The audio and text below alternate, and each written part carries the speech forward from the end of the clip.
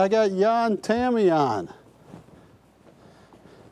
This is one of several of his sculptures, mouth blown, hand spun, 2200 degrees. They come from Romania, the Transylvania portion of Romania, and that is Transylvania, Romanian silver in these. These are amazing sculptures. I mean, I was looking up auction wet records, but oh, I got some comps for you. So we got Jan Tamaian, Michael Schofield, Verdult. We got it all, and I got one of Mr. Barbarian's pieces here.